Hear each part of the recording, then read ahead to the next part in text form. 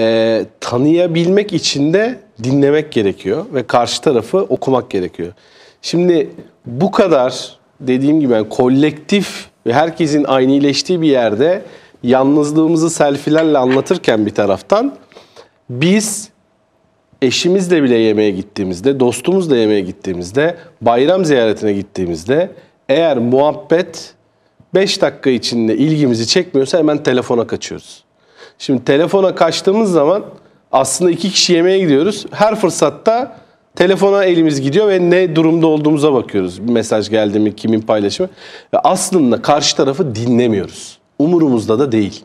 Çünkü aslında bizim o buluşmamız bile bir şeye çek atmak gibi. Yani bir görevi tamamlamak gibi. Ve dinlemediğimiz için de karşı taraf bir şey anlatıyor. Ben onu dinlemiyorum. Benim zaten anlatacaklarım var. Umurumda değil onun söyledikleri. Ondan sonra da ben anlatmaya başlıyorum. Şimdi bu gerçek ortamda olan şey. Yani sanal ortamdan bahsetmiyorum bile. Şimdi gerçek hayatımıza dijital dönüşümünün en büyük etkilerinden biri bu. Aslında biz yine o kolektif bayram ziyaretinde ya da dost meclisinde bile bireysel yaşıyoruz. Çünkü tahammülümüz ya da dinlemeye bir mecalimiz yok. Şimdi ben sanal ortamda zaten dinlemiyorum.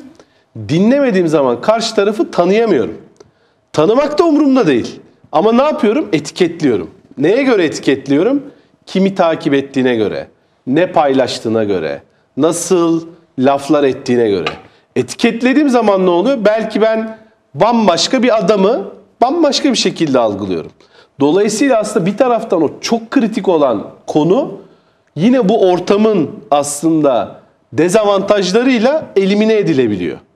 Do- ve bu perspektiften bakıldığında da bu konu potansiyel olarak dinlememe daha da artarak ileriye gidiyor.